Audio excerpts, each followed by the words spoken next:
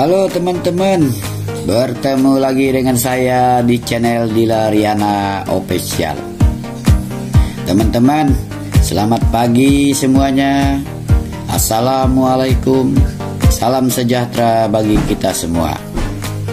Teman-teman, hari ini saya secara khusus akan buat konten tentang pemberkatan perkawinan anak saya, Valentina Dilariana, dengan Gadis Suryanto. Penerimaan sakramen perkawinan ini diadakan di Gereja Santo Ignatius Loyola Kampung Baru, Kecamatan Kubu, Kabupaten Kubu Raya, yang diberkati oleh Pastor Paroki Santa Teresia Delta Kapuas, yaitu Pastor Franciscus Porgion, OFM Cap, dan didampingi mantan Pastor Paroki Delta Kapuas juga, yaitu Pastor Celestinus Joni OFM Cap. Teman-teman, ayo kita ke gereja, kita saksikan pemberkatan tersebut. Oke. Okay.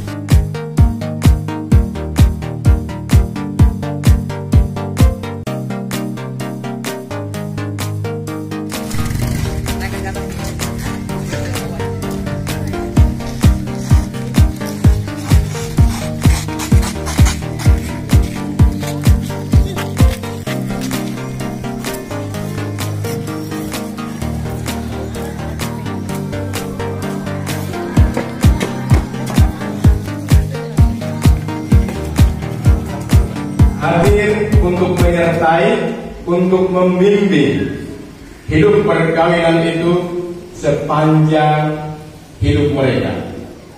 Dan Allah sendiri akan memberikan rahmat dan berkatnya bagi kedua mempelai ini serta kedua mempelai juga memiliki kewajiban untuk mengikrarkan perkawinan kudus ini dan di Allah dan gerejanya.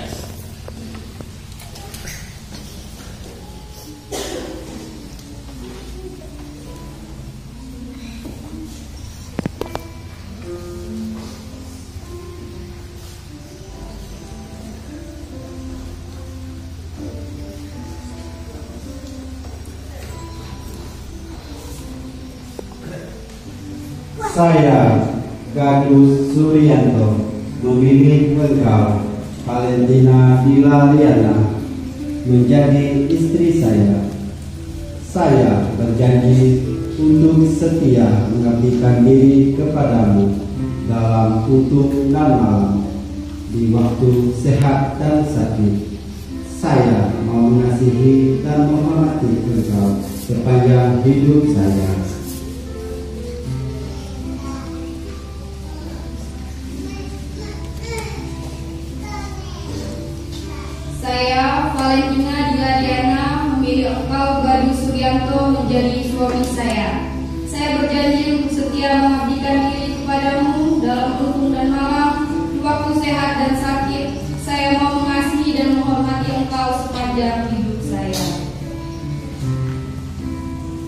Katolik yang sah. Semoga bagi kalian berdua sakramen ini menjadi sumber kekuatan dan kebahagiaan yang dipersatukan Allah janganlah diceraikan manusia. Amin. Marilah memuji Tuhan. Syukur kepada Allah.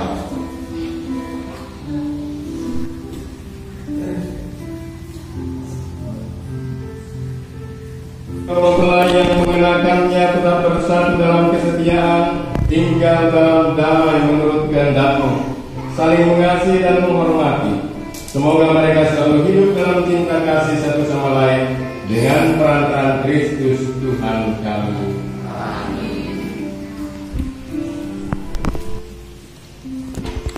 Saudara Gadus, kenakanlah cincin ini pada jari istrimu sebagai lambang cinta dan kesetiaan.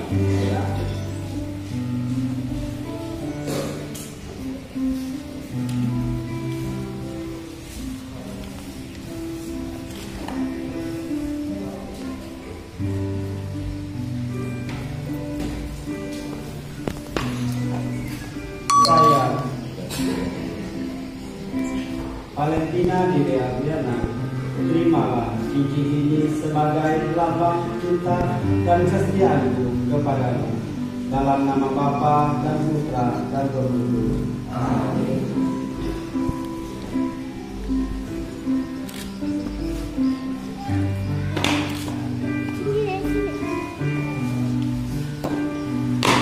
Kita kenakanlah cincin ini pada jari suamimu sebagai lambang cinta dan kesetiaan.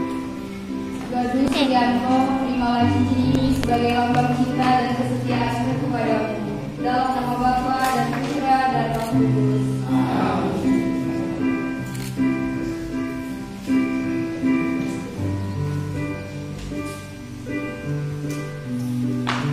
Silakan saudara membuka selubung wajah istrimu. Semoga memandang dengan wajah penuh cinta. Semoga ikatan cinta kasih kalian berdua yang diresmikan dalam perayaan ini menjadi sumber kebahagiaan sejati. Bapak Ibu saudara-saudara sekalian, mereka sudah lama menjalin kasih, sudah lama pacaran. Mungkin mereka ciuman sembunyi-sembunyi selama ini kan. Sekarang mereka sudah resmi menjadi suami istri. Maka saudara Gadus berikan ciuman kepada istrimu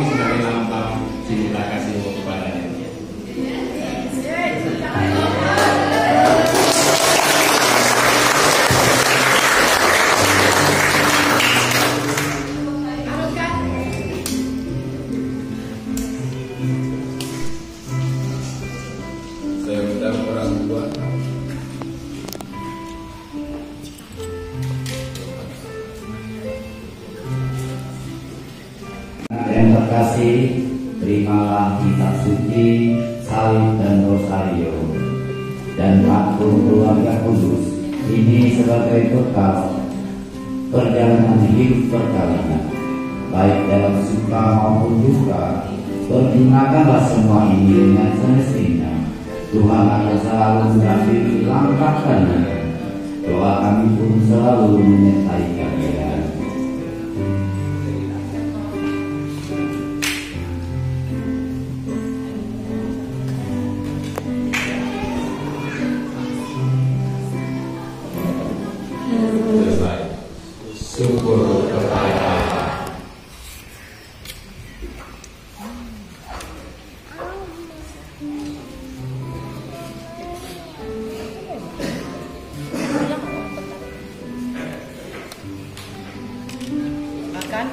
Kan?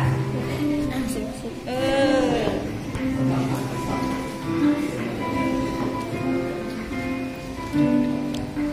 Mentang-mentang dah bebas.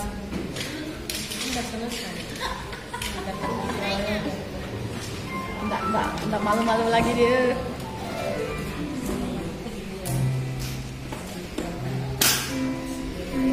akan bagi laki-laki seorang perempuan sebagai penolong yang tak terpisahkan. Mereka bukan lagi dua, melainkan satu daging. Dan engkau mengajarkan bahwa yang sudah dipersatukan tidak pernah boleh diceraikan. Ya Allah, Engkau telah meneruskan ikatan perkawinan dengan misteri yang begitu luhur, sehingga dalam janji perkawinan Engkau memperlambangkan sakramen hubungan Kristus dengan gereja. Ya Allah, di dalam Engkau perempuan bersatu dengan laki-laki dan komunitas insan yang pertama yaitu keluarga dianugerahi dengan berkat yang tidak bisa ditiadakan oleh apa pun. Tidak oleh kutukan dosa asal, tidak juga oleh hukuman air bah. Pandanglah dengan rela hamba-hambamu ini yang telah menjalin persekutuan perkawinan. Mereka tetap mengharapkan berkat dan perlindunganmu.